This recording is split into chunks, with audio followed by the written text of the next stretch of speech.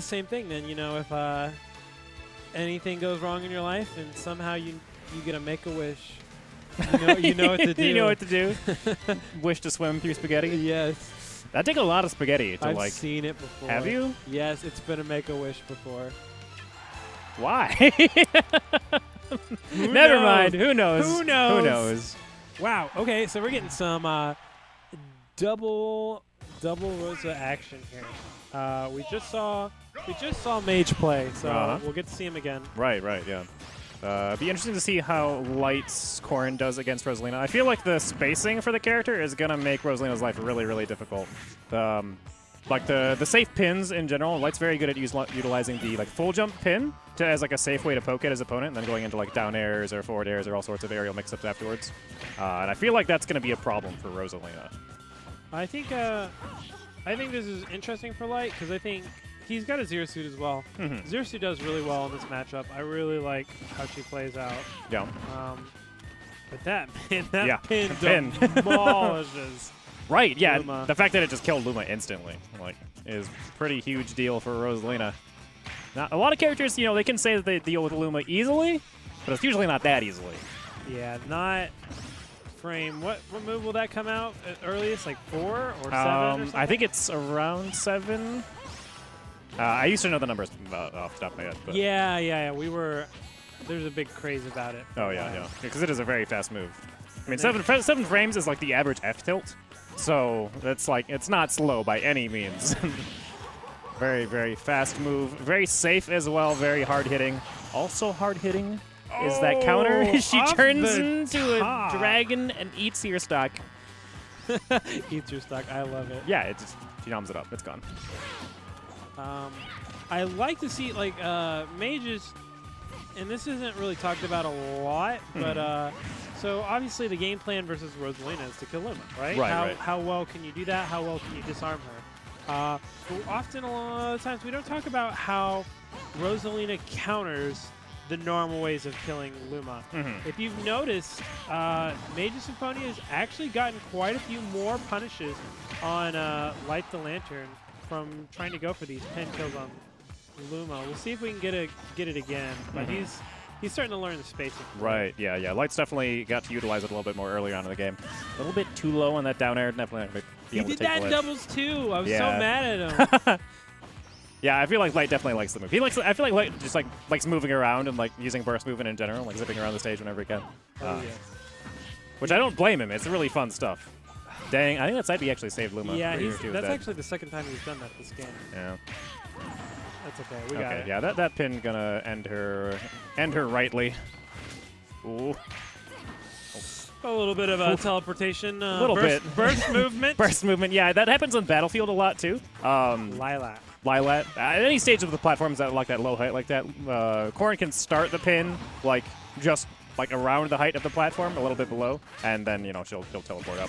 Nice. Shank. Good night. I also think it's a little uh, a little more prevalent on Miiverse. I think the platforms on Miiverse are a little bit lower than the other two. I think they're a little lower, and I think Yeah. they're a little bit longer as well. Interesting. Yeah, I remember hearing people talk about that a while back. Um, how there is like technically slight differences between it and Battlefield that weren't like it keeping it as its own stage on the stage list, but yeah, the end. Miiverse, Miiverse is a great stage. Uh, if people, you know, if people really don't like Dreamland, I don't know why we don't just replace it with Miiverse. Uh, yeah, I, I think just because of that like mentality, people think it's too close to Battlefield that it's like not really uh, worth uh, an additional stage on the stage list. But I don't know. That's a yeah. That's a discussion. We'll we'll do a mid a mid set discussion on that. right, maybe, maybe after the set's over, we'll talk about that. Good Oh, control. Good Scary downer. aggression.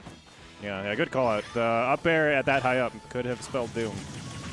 Jeez, the, the multi hits on the down air like that. Uh, Ooh, that pivot grab was perfect. yeah, Another pivot grab. Okay, I'm digging this. right. Yeah, lights. Uh, oh, okay, just barely living. Lights. Like, I feel like Lights kind of like a hyperactive player. He, he definitely likes like pu- pushing buttons and making this happen a lot. Um, which from is a very easy trait to like point out as a bad trait for low level players. But eventually you get up to the point um, where I feel like either players where, where either they like they tone back the aggression or they just get really, really, really good at pressing buttons very consistently. And I feel like Light is definitely in that latter category. Um, despite the fact that he's pressing buttons a lot of the time and like in a pretty like steady pattern. Like it's very easy to tell when he's going to press buttons, but he's got uh, gotten good enough at it and gotten uh, like the safe, safe enough setups that despite that, it's still uh, a positive trait. That is an incredibly interesting analysis. As a Yeah. non-aggressive player. Right? Yeah, yeah. I would definitely point you in the the opposite side of that spectrum. Yeah, yeah. I, it's very interesting to hear because uh, if you guys didn't know, Stefan is very aggressive. I do. I do like pressing buttons. He presses lots of buttons. Ah, don't you just hate when a dragon headbutts you in the Right? back? Yeah. Very rude. you're just you're fighting this little girl with a sword and suddenly she's a dragon. Happens all the time. Mm-hmm. Uh, but uh, Rosalina not letting that put her down. Still controlling space. Yep, It's 100% gonna be up. really rough for him to get back down. Ooh, I see what he's setting up for. Right. Right. He again didn't account for Light's aggression. Yeah, Uh, he's he's, but he's down there in, on top of him whatever he was above him, like three or four or five times in a row now. Yeah, I definitely wouldn't be afraid to say five times. Like, we'll probably see it another time. Yeah. Ooh, Dragon this is a yeah. good situation. Two frame. Mm. Trying for it. I like the pivot grabs from the ledge. Oh, that time though, getting punished pretty hard for the full hop side B. Yep, yep, yep. Yeah, interesting that uh, that Mage is able to actually just like squeeze in there and punish that because there isn't too much end lag on it. Um, whenever it's in the air, he usually can do it like falling down or falling aerials. Um, and because of the distance of the move, it's very difficult to be inside the range where you can run up and do something to it before you can put buttons up. But yeah, that's excellent spacing by Mage. Yeah. You know, Rosalina does for being such a tall woman woman, she uh she contorts her body a lot. Like. Yeah, if yeah, you see like her run animation and you'll see like her up smash animation, she like bends down. Yeah, she turns into a tree and just like bends at a 45 degree angle and then comes back up. Yeah. Uh it's uh it's actually changes a lot of the game. Ooh, that was gonna be a nice mix up. Um Whoa. Ooh. Ouch. That's hard to tech. No. Yeah. He's just pressing lots of buttons. Yeah.